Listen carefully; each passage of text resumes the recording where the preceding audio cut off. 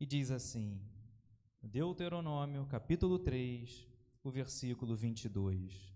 Não tenham medo deles, porque o Senhor, o Deus de vocês, é o que luta por vocês. Feche seus olhos, Senhor. Te agradecemos pela tua palavra que nos alimenta, que fala aos nossos corações. Tua palavra, Senhor, que não volta vazia e que fortalece a nossa fé. Em nome de Jesus te agradecemos pelo privilégio de estarmos aqui, ouvindo, ó Deus, sendo alimentados pela tua palavra. Repreende em nome de Jesus todo mal, toda distração, toda conversa paralela, tudo que vem tentar atrapalhar a pregação da tua palavra. Ó Deus, fala aos nossos corações nesse momento, para que saiamos daqui renovados, fortalecidos. Em nome de Jesus. Amém. Louvado seja o nome do Senhor. Os irmãos podem se assentar. Moisés, ele está lembrando no seu livro de Deuteronômio alguns pontos importantes das experiências com Deus. E aqui nós vemos que ele vai falar sobre a vitória sobre Seom, vai falar sobre a vitória sobre Og, que era rei de Bazã, vai falar sobre as tribos do leste do Jordão. E o versículo inicial que nós lemos, ele vai falar: Não tenham medo deles, porque o Senhor, o Deus de vocês, é o que luta por vocês. Nessa manhã nós vamos falar sobre coisas que só Deus pode fazer por nós. E o primeiro ponto que nós vemos aqui: tem momentos em nossas vidas que precisamos lutar. Lutar contra a fraqueza, lutar contra a tristeza, lutar contra os dardos inflamados do inimigo, e Deus nos dá condições para vencer, Deus te dá uma armadura para nós vencermos. E diz o versículo 20 do capítulo 3: Vocês deverão lutar até que o Senhor dê descanso a seus irmãos, como deu a vocês, para que eles também ocupem a terra que o Senhor, o Deus de vocês, está dando a eles do outro lado do Jordão. Se você quer a bênção, se você quer a vitória, se você quer chegar à terra prometida, Deus ele quer que nós venhamos crer, acreditar, ter fé, lutar. Porque quando as coisas são muito fáceis, as pessoas têm uma tendência natural a não valorizar, a se desviar, após receber a bênção, receber a cura, pessoas sequer voltarem para agradecer, como foi, por exemplo, o caso dos leprosos. Com Jesus, aqueles dez leprosos, só um volta para agradecer. Por isso que Deus, Ele nos ensina na Sua palavra. Tem luta? Tem. Temos que vencer o medo. Temos que ser encorajados por Deus, ser encorajados pelo Senhor. Temos que buscar Deus, buscar a presença de Deus para lutar. E é isso que nós estamos fazendo aqui. Vocês deverão lutar até que o Senhor venha dar o descanso, até que o Senhor venha dar a bênção. Então lute, não desista, não tire a mão do arado, não desanima. Meu amado irmão, presta bastante atenção, porque o Espírito Santo de Deus está falando. Não é para desistir, não é para deixar de lutar. Independentemente das adversidades, independentemente das circunstâncias, do que você possa estar passando, não deixe de lutar. Porque quando nós lutamos, quando nós não venhamos ficar atemorizados por causa da afronta do gigante, mas quando você faz como Davi, olha, ninguém está querendo ir, mas eu vou. Porque ele vem a mim com lança, com espada, mas eu vou a ele com o Espírito Santo de Deus. Eu vou a Ele com a presença de Deus. Eu vou lutar contra Ele não com lança, com espada, mas com a palavra de Deus. Por isso que Moisés vai falar: não tenham medo deles, porque o Senhor, o Deus de vocês, é o que luta por vocês. Então, nessa luta, você não está sozinho. Nessa luta, tem um Deus que desde a antiguidade não se viu, não se ouviu. Um Deus que luta, um Deus que trabalha para o bem daqueles que o amam. E você ama a Deus. E você tem certeza que você não luta pela vitória. Como assim, pastor? Você luta em vitória. É diferente. Porque com Deus não tem derrota, amém? Com Deus não tem derrota. Então nós não lutamos pela vitória, nós lutamos em vitória. Porque você serve ao Deus, você serve ao Deus Todo-Poderoso que diz: não temas, não tenha medo deles, porque o Senhor, o teu Deus, o Deus de vocês, o Deus que você está nessa manhã adorando, buscando, servindo, está no controle de tudo está no controle de todas as coisas e é Ele que luta por vocês. Tem luta, é verdade. Tem adversidade, é verdade. Tem que remar para o barco não ficar a pique por causa da tempestade, dos ventos contrários, é verdade.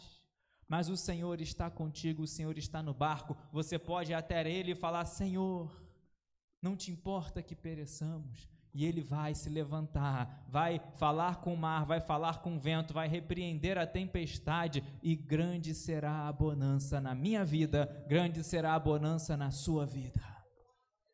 Primeiro ponto: coisas que só Deus faz por nós. Nos leva a situações difíceis, permite lutas, para que no meio da luta nós venhamos entender, compreender a vontade de Deus e a depender do Senhor a confiar nele. Mas ele fala: não temas, não tenha medo.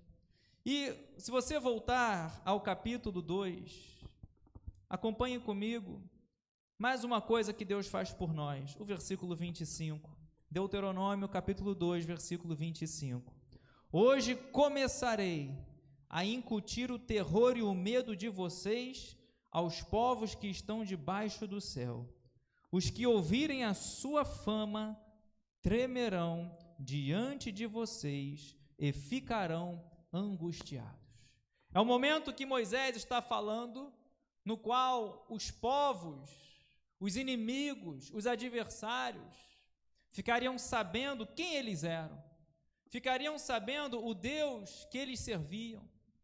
E ele está falando: olha, hoje Deus está falando, levantem-se, eu entrego nas mãos de vocês, o versículo 24, Seom amorreu, os adversários, a terra dele, pode começar a ocupação e entrar em guerra com eles, porque eu vou colocar o medo, eles vão saber o Deus que vocês servem, ou seja, o adversário, meu amado irmão, ele sabe, conhece o Deus que você serve, ele sabe que é o Deus do impossível que nós servimos, ao Deus todo-poderoso, por isso que muitos ouvirão a sua fama, não no sentido de ser famoso, mas no sentido de saber o que Deus tem feito na sua vida, no sentido de ver a proteção de Deus na sua vida, no sentido de ver o cuidado, a provisão de Deus na sua vida. Era um momento que Deus está falando: olha, podem se levantar, podem começar a guerrear, pode ir, porque eu estou entregando nas suas mãos os amorreus, eu estou entregando nas suas mãos Seom, que é o rei dos amorreus, e grande será a vitória, e eles já ficarão com medo, eles já estão sabendo a fama de vocês, já estão sabendo que com forte mão saíram do Egito, que vocês estão na minha direção, que eu sou o Senhor, que eu vou à frente, que eu estou na nuvem de dia, que eu estou na nuvem de noite, na coluna de fogo de noite, eu estou guiando, eu estou cuidando, eu estou suprindo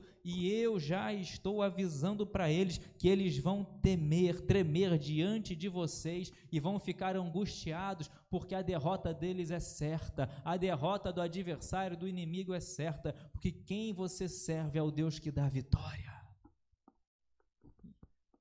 E aplicando isso às nossas vidas, Deus fala isso.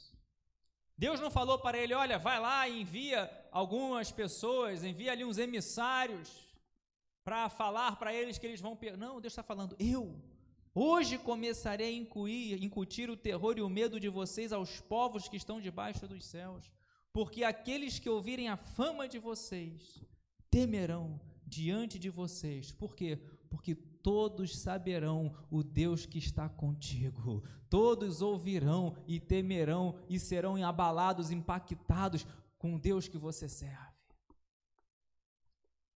Pastor, eu estou em luta, eu estou em adversidade, tenho que lutar. Tem, mas não temas, porque você não luta sozinho. E segundo, aqueles que estão ao redor, que talvez estejam zombando, talvez estejam rindo, talvez estejam descrentes, talvez estejam falando essa situação não muda, não tem como reverter.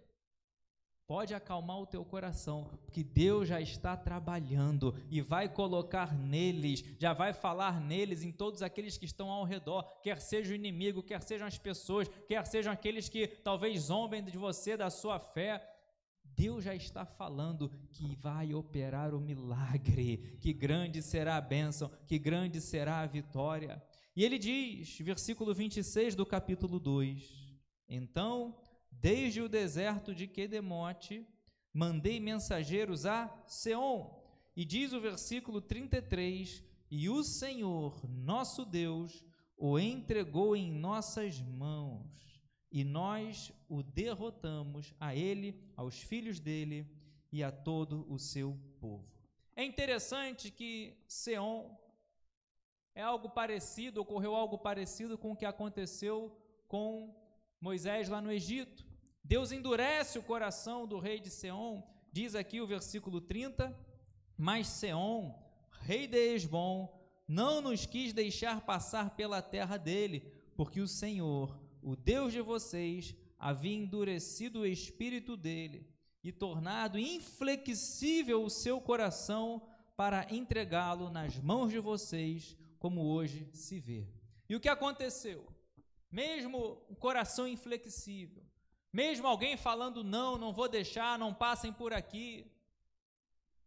Talvez você esteja lidando em situações com pessoas assim, inflexíveis quanto à sua dor, desprezando as suas necessidades, não estão virando as costas mas muitas vezes permitido por Deus. O que Deus quer é que você confie nele, não confia nas pessoas, não confie nas pessoas. Nós vemos aqui que o povo não teve que confiar no rei. Vamos lá, vamos clamar, vamos implorar para o rei Seom. Ele está com o coração endurecido.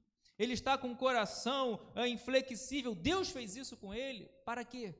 Para que o povo pudesse aprender, desenvolver a sua confiança em Deus. Então não fique contando com as pessoas. Claro, contamos com os irmãos, com as orações. Estamos falando de coisas além daquilo que foge das nossas possibilidades. Mas conte com o Senhor, confia no Senhor. Ainda que o Seom tenha ficado esse rei com o coração endurecido, não deixou o povo passar pela terra, Deus fez assim. E o que aconteceu? Por causa disso o povo perdeu? Não, a vitória foi muito grande e o Senhor, nosso Deus, diz o versículo 33, o entregou em nossas mãos e nós o derrotamos. Deus vai colocar essa situação nas suas mãos. Deus vai operar o milagre. Jesus falou isso. Lembra para o paralítico: levanta, toma o teu leito e anda. Ou seja, aquilo que hoje te tenta ficar fazer triste, ficar fazer você abatido, aquilo que para você é sinal daquilo que te carrega, aquilo que, meu amado irmão, Deus fala: pega, toma o teu leito e anda. Todos verão você andando carregando o leito, ou seja, todos verão a vitória. Aquilo que antes era sinal, era símbolo de tristeza, de ficar prostrado, todos verão Deus colocando a vitória nas tuas mãos. E o Senhor nosso Deus o entregou em nossas mãos e nós o derrotamos. E detalhe: tinham muitas cidades. Diz o versículo 36: Desde Aroer, que está à beira do vale de Arnon, e a cidade que está lá, até Gileade, não houve nenhuma cidade que fosse alta demais para nós. Tudo isto o Senhor nosso Deus nos entregou. Esse versículo falou muito ao meu coração, porque naquela terra tinham muitas cidades a serem conquistadas, tinham muitas cidades a ter luta para alcançar a conquista, cidades fortificadas, cidades altas, porém, eles declaram: não houve nenhuma cidade que fosse alta demais para nós. Ou seja, não há dificuldade. Se Deus falou, vai, levanta, guerreia, que eu estou dando a vitória, ainda que aos nossos olhos tenham muitos gigantes, ainda que aos nossos olhos tenham muitas cidades fortificadas, todas elas Deus vai dar a vitória, Deus vai entregar nas suas mãos. Ou seja, não há impossíveis. Não há cidade muralha, cidade fortificada que Deus não possa vencer. Qual é a cidade alta que você tem que vencer? Qual é a dificuldade? Qual é o medo? Qual é a tristeza? Qual é a circunstância? Não teve nenhuma cidade que fosse difícil para nós. Deus ele vai dar a vitória por completo. Deus vai dar a vitória completa. Olha, se eram 100 cidades, não vai ficar com 97, com 98. Deus vai dar a vitória completa. A palavra de Deus foi: Eu entrego nas mãos de vocês esse lugar, eu entrego nas mãos de vocês essa situação. Então pode tomando posse, porque a vitória vai ser completa. Ainda que o rei esteja com o coração inflexível, ainda que todo ao olhar natural, as circunstâncias sejam impossíveis aos nossos olhos, não vai ter cidade alta em que seja impossível para você conquistar. Posso ouvir um glória a Deus bem alto? Pode glorificando, pode exaltando o nome do Senhor. Você vai dizer: tudo isso, diz o versículo 36, tudo isso, o Senhor, nosso Deus, me entregou. Deus ele concede bênção, Deus entrega vitórias. Tudo isso. Lá na frente, você vai testemunhar para a sua família, para seus amigos. Tudo isso o Senhor me entregou. Não foi com a minha força, não foi com a minha inteligência, não foi com a minha sabedoria, mas foi com a minha obediência, foi com a minha fé. Tudo isso o Senhor tem me entregado e você vai testemunhar. E aqui foi a vitória sobre Seom. Eles declararam: não teve nenhuma cidade alta demais para nós. Você vai se levantar, você vai guerrear, você vai lutar, porque você vai lembrar: tem um Deus que luta por mim, eu não estou sozinho, como nós lemos lá no início. Você vai avançar ainda que muitos de dentro, lembra dos espias, estejam falando: olha, não tem como, a, terra até, é boa, até que é boa, tem né, mana, leite e mel, olha que lindas uvas, mas tem gigante, é fortificada, não temos como, ainda que muitos até de dentro venham tentar desanimar, confia em Deus, confia no Senhor, porque ele falou: entrego hoje nas mãos de vocês, e você vai declarar: a vitória é completa. E não acaba aqui. Tudo isso nosso Deus nos entregou. E diz o capítulo 3, o versículo 1: Depois voltamos e fomos na direção de Bazã. E Og, rei de Bazã, saiu ao nosso encontro, ele e todo o seu povo, para lutar contra nós em Edrei. Acabaram de ter uma vitória contra Seom. E o que acontece? Se levanta Og, rei de Bazã, para lutar. Quantas vezes você já passou por uma circunstância assim? Acabou de ter uma vitória, acabou de ter uma conquista, acabou de presenciar um milagre.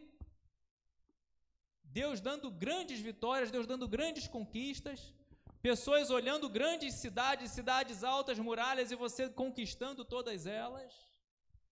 E agora, quando você parece que vem o tempo da bonança, se levanta outra dificuldade, se levanta outro problema.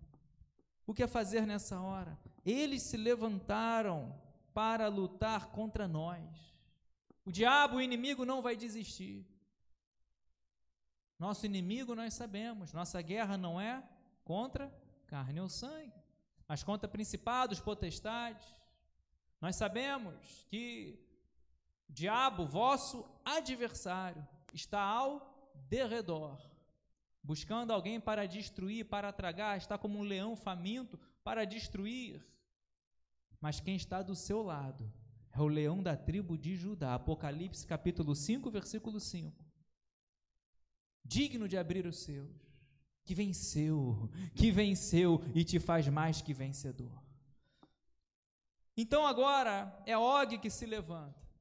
E nós vemos aqui, capítulo 3, o versículo 3. E o Senhor, nosso Deus, entregou em nossas mãos também Og, rei de Bazã, e todo o seu povo. Lutamos contra ele, até que não sobrasse ninguém. Nesse tempo, tomamos todas as suas cidades. Não houve nenhuma cidade que não lhe tomássemos. Ou seja, inimigo se levantou, mas você continua servindo ao mesmo Deus. Diabo se levantou, mas você continua adorando o mesmo Deus. Problema apareceu, mas você continua crendo no mesmo Deus. O Deus que deu vitória e vai continuar dando vitória. Ele diz aqui: Ele se levantou, mas o Senhor nosso Deus nos entregou também. Og, rei de Bazã, lutamos, vai ter luta. Vai ter que suar, vai ter que estar preparado, vai ter que levantar a espada vai ter que colocar a armadura. Estamos falando espiritualmente. Nossa luta é espiritual. Nosso trabalho na casa de Deus é espiritual. Ainda que você use as mãos para tocar, ainda que você use as mãos para zelar pela casa de Deus, ainda que você use as mãos para distribuir um folheto, ainda que você use a, voz para. A... Meu amado irmão, nosso trabalho é espiritual. É o que ele diz aqui. Não ficamos parados. Tivemos que lutar, lutamos contra ele, porém a vitória é certa. Você não está lutando pela vitória, você já está lutando em vitória. A vitória já é nossa, a vitória já é do povo de Deus e não vai ter nenhuma cidade que não fique sem ser tomada. Sabe o que, é isso? Deus vai dar a vitória completa. Aquilo que Deus tem para você vai ser de você a vitória vai ser completa. Não vai ficar nenhuma cidade. Olha, das 100 conseguimos as 99, aquela ali foi difícil, deixa só aquelazinha para ele. Não, Deus ele vai dar tudo o que ele quer dar para você. Ah, não, mas aquela cidade ali nós tentamos, não conseguimos. Se você não conseguiu com a própria força, Deus vai lá e vai derrubar aquelas muralhas. Se você não conseguiu com a própria força, Deus vai lá e vai operar o milagre, porque a vitória de Deus é completa. Não tem nenhuma cidade que não vai ser tomada, não vai ter ninguém que venha tirar aquilo que Deus tem para você, para a sua vida, a bênção de Deus. E ele continua, capítulo 3, o versículo 20: Vocês deverão lutar até que o Senhor dê descanso a seus irmãos, como deu a vocês. Vai chegar o momento, após a luta, que você vai ter o descanso que você vai ter o bálsamo, que você vai ter o gozo, que você vai ter o deleite. Por quê?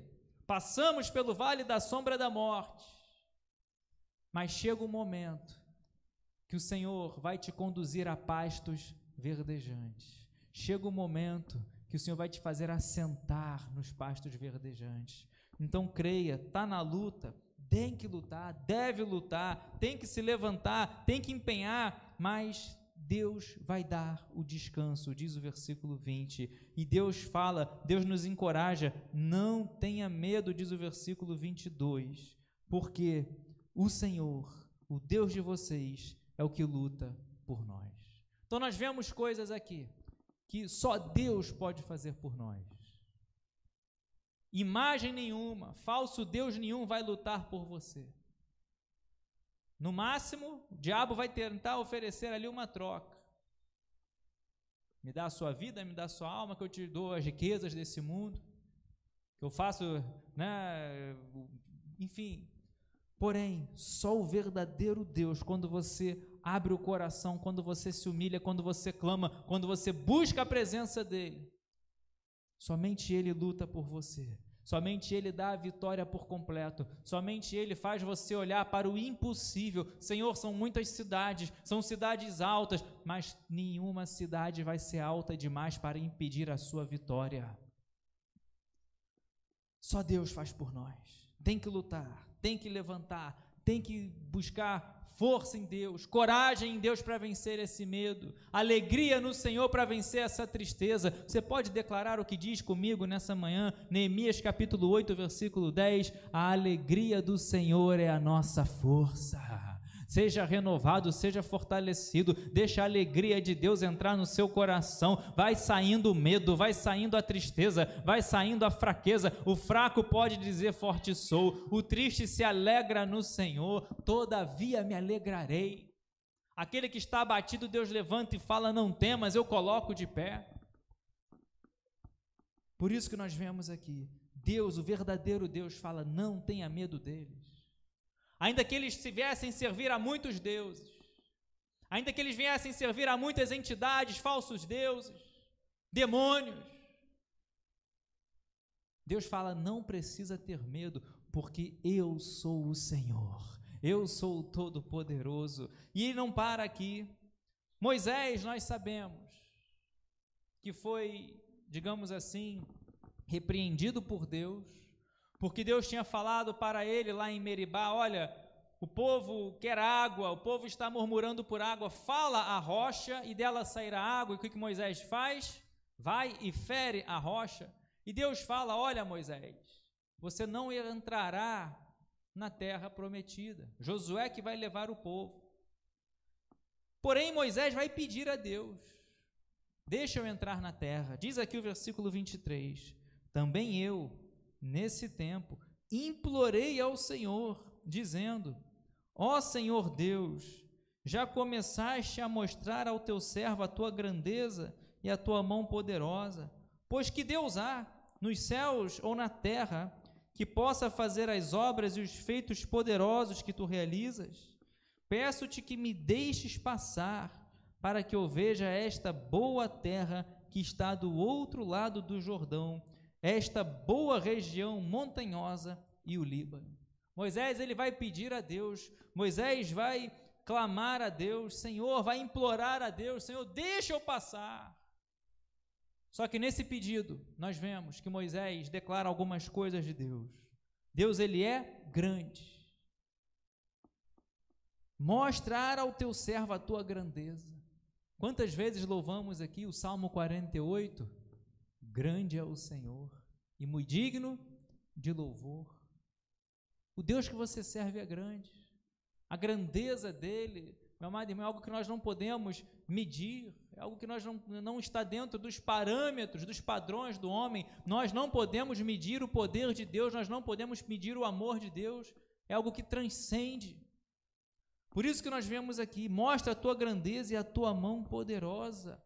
Peça a Deus, Ele vai mostrar a grandeza, a poderosa mão dele, que fez o povo sair do Egito, que fez ali o povo abrir o mar vermelho. Deus vai mostrar. Porém, de tantas características que nós vemos aqui, precisamos entender que com Deus não se brinca. Precisamos entender que a santidade de Deus é algo muito sério. Por isso que ele diz aqui: Senhor, me deixe. Estamos falando de Moisés. Estamos falando que Deus falou para Moisés. Deus falou de Moisés: Olha, eu falo com muitos em visões, mas Moisés eu falo na presença, eu falo face a face. E Moisés ele vai pedir: Senhor, deixa eu entrar, deixa eu ir para a terra. Moisés vai implorar para que pudesse não apenas ver, porque esse foi o juízo dado por Deus a Moisés, pelo fato de ter, uh, digamos assim, ido contra a santidade de Deus lá em Meribá, Porém, diz o versículo 26, o Senhor estava indignado contra mim por causa de vocês e não me ouviu. Pelo contrário, ele me disse: basta, não me fale mais nisso. Então, cuidado. Cuidado com a falta de zelo, com a falta de respeito na igreja. Cuidado com as coisas espirituais. Deus não ouviu esse pedido de Moisés. Porque estava indignado contra ele. Cuidado com as escolhas, com as atitudes, com a rebeldia, com as murmurações. Quantas vezes pessoas reclamam, ah, Deus não me ouve, mas estava fazendo igual Moisés fez lá em Meribá. Talvez Deus falando para falar e a pessoa ferindo a pedra. Talvez Deus falando espere e a pessoa fazendo birra, eu quero agora. Talvez Deus orientando a se portar na igreja, a se portar no reino de Deus, a não ir a outros caminhos, a não seguir a outros falsos deuses, e a pessoa quer ir por si mesma. Aí depois, quando vai orar, Deus está indignado com Moisés. Estamos falando de Moisés. Alguém que Deus, a um determinado momento, lá em Êxodo capítulo 14, Deus vai falar: Moisés, por que clamas a mim? Só toca nessas águas. E o que acontece? O mar se abriu. E agora, por causa de Moisés ter ido contra a santidade de Deus, Moisés ele vai clamar, vai pedir. Ou seja, aprendemos aqui que Deus concede vitória. Amém. Que Deus ele dá a vitória por completo. Amém. Que Deus faz cidades grandes, muradas, virarem né, coisas tão pequeninas para você alcançar a vitória. Amém. Deus faz com que a vitória seja completa. Tudo aquilo que Deus dá para você, Ele vai colocar nas suas mãos, não vai ficar nenhuma cidade de fora. Amém. Porém, de Deus não se zomba, como vai dizer a palavra. Aquilo que o homem plantar, isso ele vai colher. De Deus não se zomba, de Deus não se escarnece. Então, Moisés ele pede, vemos aqui a justiça de Deus. Vemos aqui a santidade de Deus. Vemos aqui que Deus, ele diz: "A alma que pecar essa morrerá". Não é o caso de Moisés. Moisés foi punido em não chegar à terra prometida. Deus leva Moisés a um lugar alto e fala: ó, "Você verá a terra, mas não vai chegar na terra". E basta, não me fale mais isso. Chega, Moisés, não vai ne negociar mais. Não vai pedir mais isso, porque Deus estava indignado contra ele. Tem coisas que entristecem a Deus. Tem coisas que entristecem o Espírito Santo de Deus. Tem coisas que Deus não se agrada. Blasfêmia contra o Espírito Santo. Falta de temor na igreja. Falta de respeito aos pais. Falta de respeito na igreja. Falta de, enfim, fé no sentido de dar espaço à incredulidade, tantas coisas que não agradam a Deus. Porém, tem coisas que agradam a Deus. Sem fé é impossível agradar a Deus. Então, com a sua fé, com o seu amor, com a sua gratidão, você vai agradar a Deus. Mas vemos aqui que Deus falou para ele: Olha, versículo 27. Suba ao alto do monte Pisga e levante os olhos para o oeste, para o norte, para o sul, para o leste, e contemple com seus próprios olhos, porque você não passará este Jordão. Dê ordens a Josué, anime-o, fortaleça-o, porque ele irá à frente deste povo e o fará possuir a terra que você apenas verá. Então, cuidado por causa da falta de temor, por causa de ir contra a santidade de Deus, por causa de não obedecer a Deus, se Deus falou, Moisés, fale a rocha, não fira a rocha. Moisés iria até a terra prometida, mas somente pôde ver de longe. Meu desejo nessa manhã, tem coisas que só Deus faz por nós, Deus faz a vitória, Deus concede a vitória, Deus coloca essa situação que hoje está te entristecendo, essa situação que hoje está tirando as suas forças. Deus dá a vitória por completo, coloca nas suas mãos. Porém, lembra que Deus é santo. Lembra que Deus é justo. Lembra que Deus, ele com a sua justiça, ele faz sim a diferença entre o justo e o ímpio, entre o que serve a Deus e o que não serve. Porém, não brinque com Deus. Porém, não desobedeça a Deus. Estamos falando aqui, Moisés, ele vai pedir, vai implorar, e Deus fala: Olha, Moisés, Deus está indignado comigo, eu pedi, eu implorei, mas somente pude ver aquilo que eu estaria indo, chegando na terra prometida. Só pude ver, não pude tocar, não pude chegar Assim, ficamos no vale diante de Bet Peor. Meu desejo nessa manhã é que nós possamos rever nossos conceitos, que nós possamos rever nossos princípios e valores cristãos. Como estamos na vida espiritual? Como estamos para com Deus? Temos agradado a Deus? Temos buscado a Deus somente pela vitória? Temos buscado a Deus somente pela cura? Temos buscado a Deus somente para resolver os nossos problemas?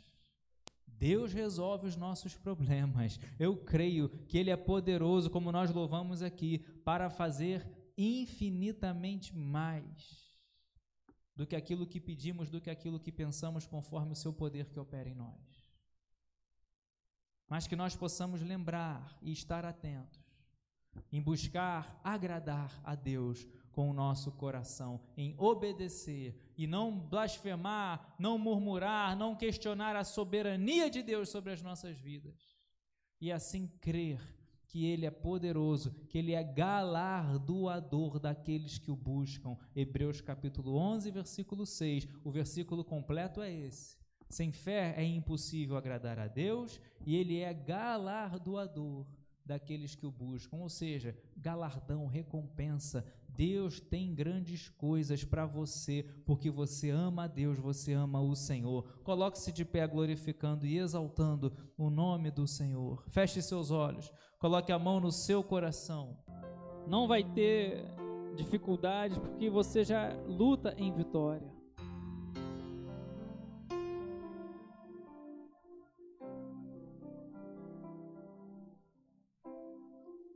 Talvez tenha se levantado Og, talvez tenha se levantado Seon. Estão indo lutar contra você. Eu não sei quais as lutas.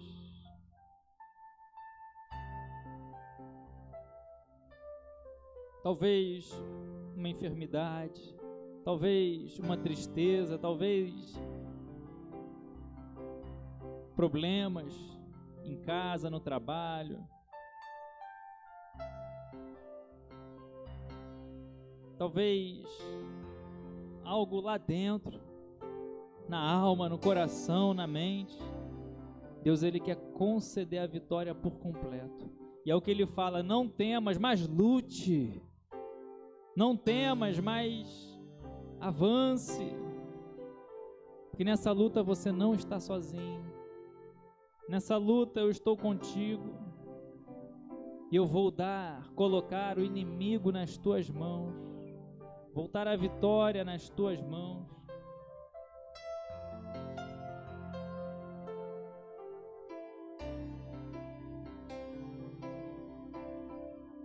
Feche seus olhos, coloque a mão no seu coração. A palavra de Deus foi pregada.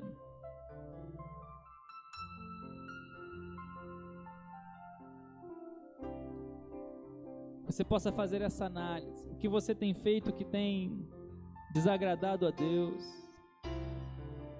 Deus é justo. Deus é bom, Deus é maravilhoso. Deus é misericordioso. Mas Ele é justo.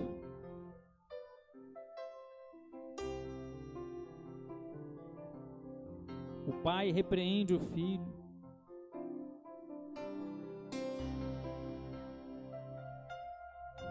Nós vamos orar. Eu quero que você coloque essa luta, esse desafio, essa luta que você precisa conquistar, coloca nas mãos do Senhor. Ó Deus, te agradecemos por esse dia, na tua casa, na tua presença e pela tua palavra. Te louvamos porque o Senhor luta por nós. Obrigado pela tua presença em nossas vidas, meu Deus o Senhor fala, o Senhor responde, o Senhor perdoa os pecados. Obrigado, Pai, porque o Senhor dá a vitória por completo. Ainda que aos nossos olhos sejam cidades altas, fortificadas, nenhuma delas deixará de ser conquistada. Vai colocando na mão do teu filho, da tua filha a vitória, Senhor. Vai abrindo a porta. Vai, ó Deus, operando o milagre, vai curando, vai libertando, vai salvando, vai tirando do vício, vai, ó Deus, trazendo de volta para casa, para a tua presença. Ó Deus, e que não falte em nossas vidas o temor, possamos ser obedientes à tua voz, que não venhamos dar espaço, Senhor, à murmuração, ao escárnio, à falta de temor na tua casa. Obrigado, Senhor, por tudo. Opera o milagre. Assim oramos e te agradecemos pela vitória que é completa, dada por ti pelas tuas mãos. Que é o Senhor que está no controle de tudo, de todas as coisas. Cuida da nossa casa, cuida da nossa família. Cuida, Senhor, da tua igreja, de cada membro, cada trabalhador. Vai visitando, Senhor, vai renovando, vai fortalecendo. Em nome de Jesus assim oramos e agradecemos. Amém. E amém. Aplauda bem forte o nome do Senhor.